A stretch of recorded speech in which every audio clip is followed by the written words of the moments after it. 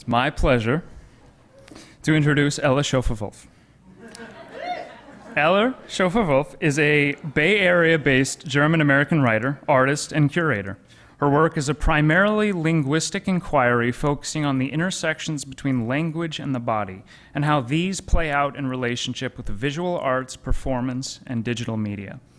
Along with her personal art practice, she is a co founder of Daughter's Tongue Writing Coalition, an artist at the Navajo Mountain Boarding School Project, and co curates the Orange Box and the Room Galleries. Welcome, Ella.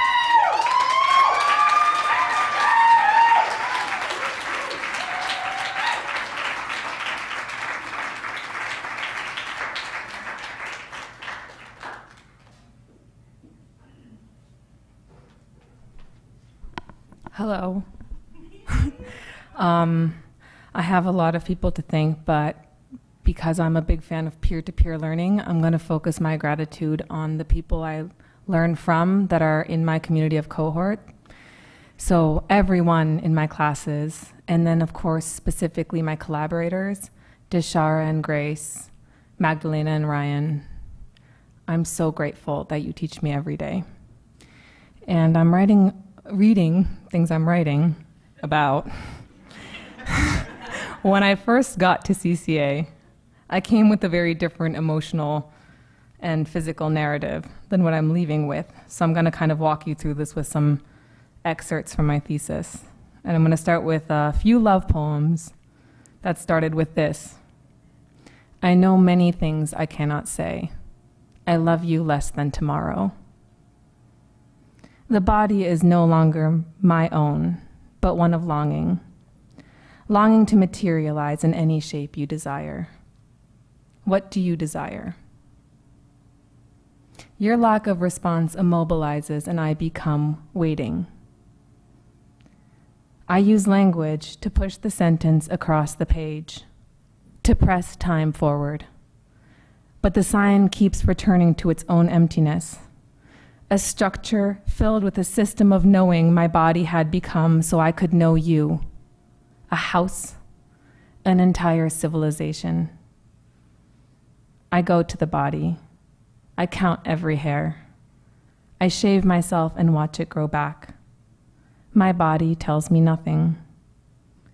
No ideas, but in things, so I put memory in places. They move into the shapes of words and the words insist upon themselves. Here's a memory. I have none. When you left me with our words framed and hung, and took our language, I became a house full of photographs. All the words my mouth could not become because grief soaks the tongue to the end of becoming. I'll be as straightforward as possible. I did not hate language before I met you. Pain runs its hands along words, and these notes are on continuing, but they do not move. And I put memory into places. How pathetic to mourn, howling flesh toward sentimentality. Too rigid for this kind of pain, unlike trees when the storm hits, the body snaps, scattered along. I was once an artist, and now I am a fraudulent form. And because I have not considered myself, I don't know who I am. And because I have not been writing regularly, because I have thoughts but no process, my language crumbles and is overgrown. And my heart collects skulls, becomes skulls, and collects skulls, and they disintegrate more eventually than flesh. Flowers flower, and the sky presses down on the earth. When I say that there are those who survive and there are those who don't, I mean that while some speak of light, others speak of mercy. A, a new universe is as likely as an old one. My body is heavy, but less than tomorrow, and I know many things I cannot say. And here are my notes on writing that this is not poetry to me.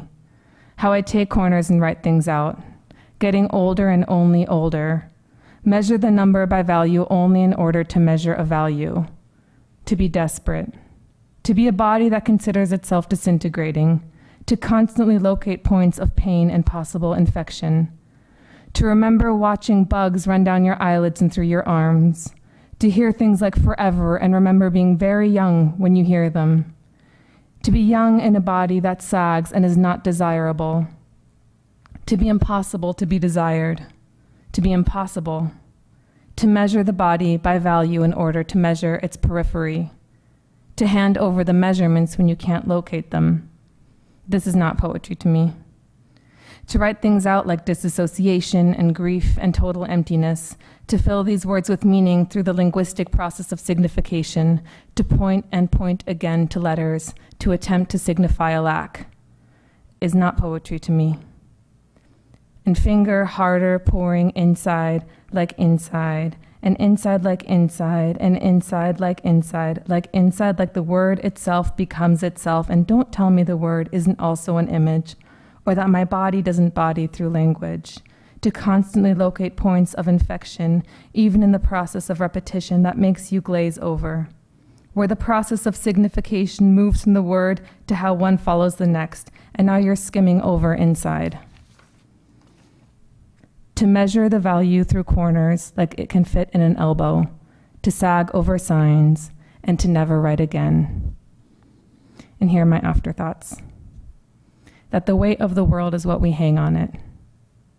Reconsider the word touch, the body and language at their limits. Consider touch at its limits.